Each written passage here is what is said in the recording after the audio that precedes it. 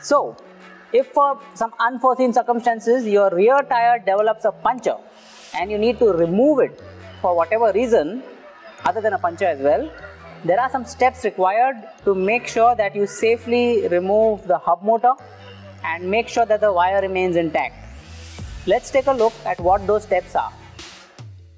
Remove the right hand swing arm cover by removing the two screws. Do the same with the left hand side and both swing arm covers will come off.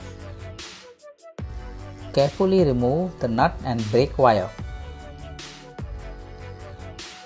Remove the motor hex nut on both sides using a spanner. Also remove the metal plate which holds the wheel in place. You will find that there is a small screw that holds the drum brake in place. Remove that as well. Keep all these components in one place so that you can find them easily when you are reinstalling the wheel. Remove the motor from the swing arm. Pay attention to the motor power cable as it should not snatch or get cut.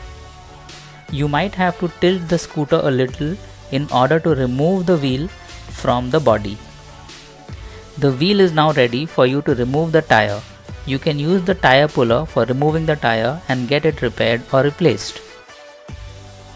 Once the tire has been repaired or replaced, then the wheel can be fitted back into the scooter by following these steps in reverse.